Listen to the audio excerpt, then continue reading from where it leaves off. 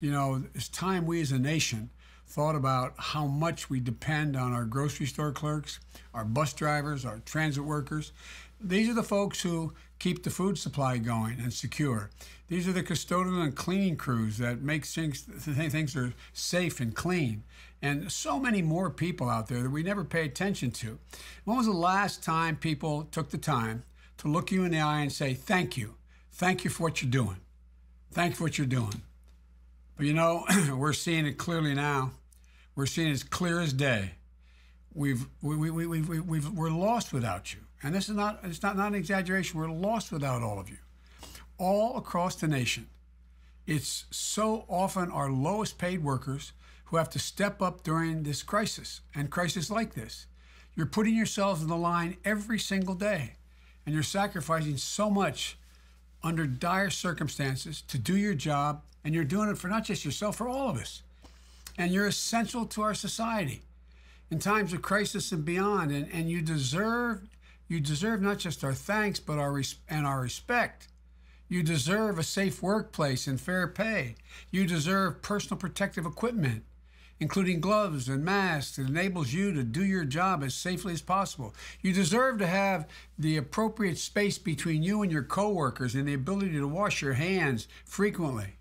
You know, we, we're, we're seeing during this crisis just why it is so important for American workers to belong to unions so that they have someone to fight for them and with them, putting your interest, your interest first, standing up for workplace safety and the needs of every business to make sure that workers are protected against infectious disease.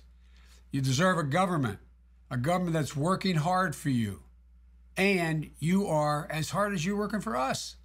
You know, the government that not only sets but enforces worker safety standards, a government that ensures everyone has the option of paid sick leave, a government that provides universal access to affordable, high quality health care, which this guy's not doing at all not one, not not one that ties to uh, tries to just rip your health protections away, like he's trying to do now by getting away with getting rid of Obamacare for folks who need it now more than ever. You deserve premium pay, standing on the front lines of this crisis, enabling our society to keep running, even as so many of you stay home and practice social distancing to break the infectious curve of the virus. These people have to go out and provide your needs for you. Congress should pass the Democratic, the you know the Senate Democrats has a, have a proposal for twenty-five thousand dollars in premium pay for frontline workers. I don't mean pay in lieu of other basic benefits. I mean a premium pay on top of the inherent rights that all workers deserve.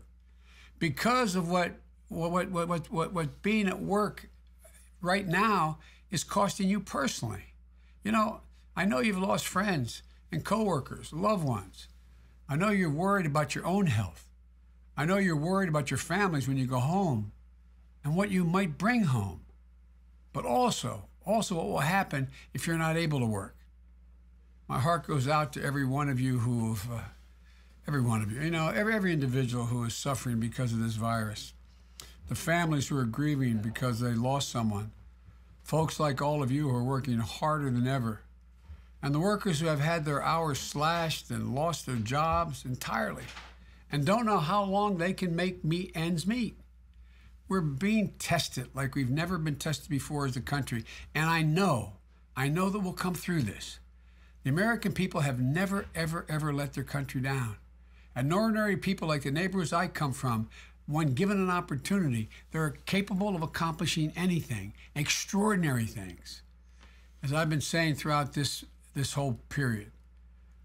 You know, we just don't pay enough attention.